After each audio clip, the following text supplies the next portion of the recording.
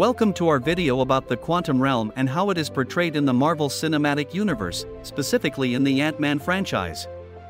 In this video, we will delve into the science behind the quantum realm, how it is different from the regular world, and its significance in the Ant-Man movies. To begin, the quantum realm is a hypothetical subatomic dimension that is much smaller than our visible universe. It is a realm where the laws of physics as we know them do not apply. The particles in this realm behave in a strange and unpredictable way that is difficult to explain with classical physics. One of the key concepts of quantum mechanics is the wave-particle duality. This means that all particles have both wave-like and particle-like properties. The wave-particle duality is what makes quantum mechanics so strange and so important. In the Ant-Man movies, the quantum realm is depicted as a parallel universe that is much smaller than our own. It is also portrayed as a dangerous place where time and space do not exist. The rules of physics are also different in the quantum realm, making it a fascinating and mysterious place. In Ant-Man and the Wasp, the quantum realm is used as a way to save Janet Van Dyne, the original Wasp, who had been lost in the quantum realm for years.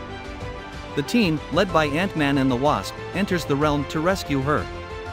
They face various challenges and obstacles, including a time vortex that could send them back in time or forward in time.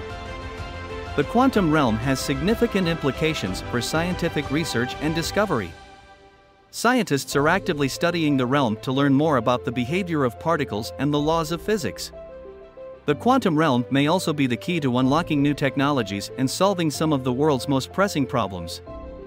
In the Ant-Man movies, the quantum realm is also a key component of the story.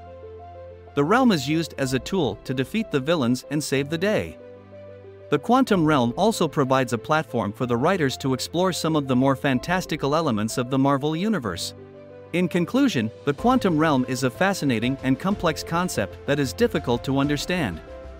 However, its significance in science and pop culture cannot be ignored. The Ant-Man movies have done a great job of exploring the realm and its possibilities, and we can only hope that future movies and scientific research will continue to do the same. Thank you for watching.